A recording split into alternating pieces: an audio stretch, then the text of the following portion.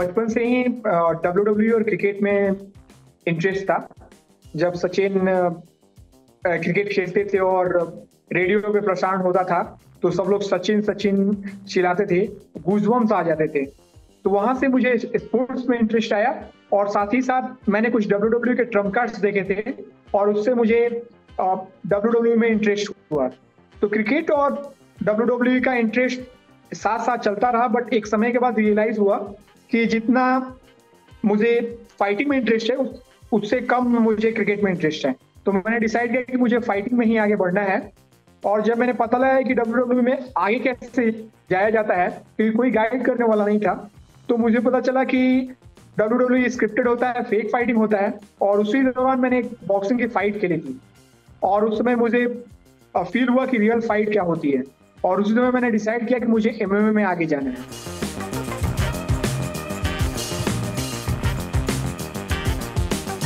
मैं एक all-round MMA fighter हूँ।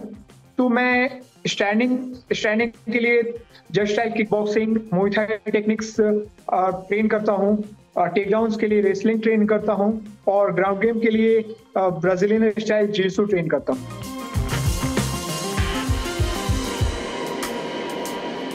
एमएमए डेफिनेटली इंडिया का नहीं वर्ल्ड का फास्टेस्ट ग्रोइंग स्पोर्ट है।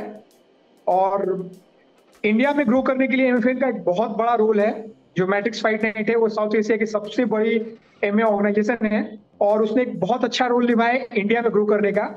और अभी जो भी कॉमर्स स्पोर्ट्स में खिलाड़ी होते हैं, वो सब एम में जाना चाहते हैं। तो फ्यूचर इसका बहुत ब्राइट है।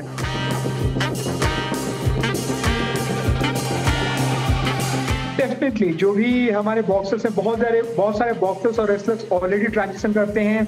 एमएमए में और एम के आने के बाद इंडिया के जो कॉमर्स स्पोर्ट्स के एथलीट्स हैं बॉक्सिंग के रेसलिंग के उनके पास भी एक अच्छा प्लेटफॉर्म मिल गया एमएमए में ट्रांजिशन करने का।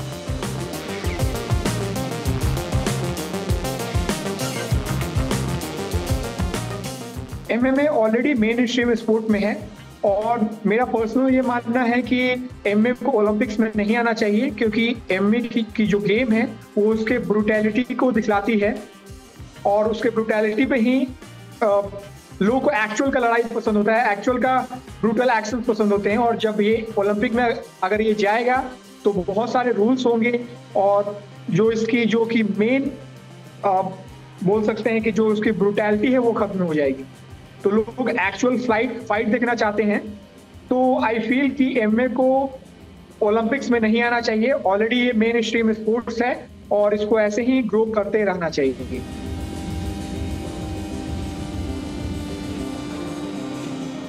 देखिए, हर एक हर एक स्पोर्ट्स में बहुत ही मेहनत लगता है और में और भी ज़्यादा लगता है क्योंकि ये एक्चुअल कॉम्बैट स्पोर्ट्स है जिसमें आपको एक्चुअली में हिट लगती है। आप दूसरे को हिट करते हैं, उसका डिफेंस आपको डेवलप करना है, आपको ऑफेंस डेवलप करना है तो एक्चुअल में बॉडी को चोट लगती है। दूसरे स्पोर्ट्स में मोस्टली बॉडी सिर्फ़ स्टोर होता है ट्रेनिंग की वजह से, इसमें तो बॉडी स्टोर भी होता है और साथ में एक्चुअल की चोट भी लगती है। तो definitely one of the hardest sport है वर्ल्ड का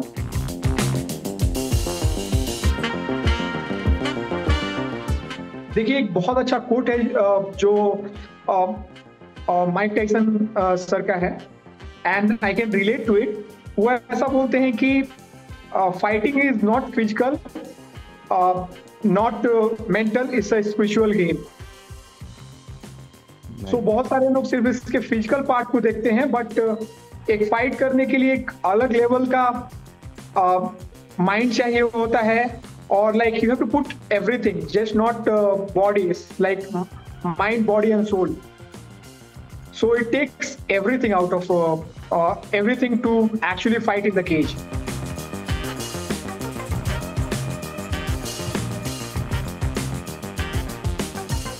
India में काफ़ी रैपिडली एमए ग्रो कर रहा है और बहुत सारे फाइटर हैं जो अभी इंटरनेशनल लेवल के हैं बस थोड़ा सा प्लेटफॉर्म का कमी था जो एमएफएन प्रोवाइड कर रहा है और साथ में साथ और भी कुछ ऑर्गेनाइजेशन आ जाते हैं तो बहुत ही ईजी होता एम फाइटर्स को और आगे तक जाना। बट डेफिनेटली एम ने एक ऐसा प्लेटफॉर्म प्रोवाइड किया है जहाँ पे एक इंडिया में जो भी एथलीट है, वो ऐसा सोच सकता है कि पहले एम में खेलना है ग्रो करना है, और जब हम इंटरनेशनल लेवल के लिए रेडी हो जाएँगे we will switch to the biggest organisation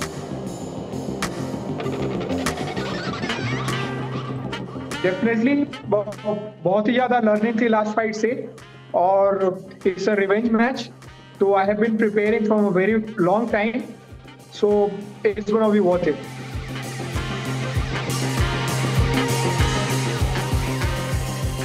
मैं किसी एक आइडियल को फॉलो नहीं करता हूँ, जो भी एम के चैंपियंस हैं वर्ल्ड लेवल पे, और अच्छा कर रहे हैं, मैं उनकी अच्छी चीज़ों को खुद को अपनाने का कोशिश करता हूँ, और वो सभी मेरे मार्गदर्शक हैं।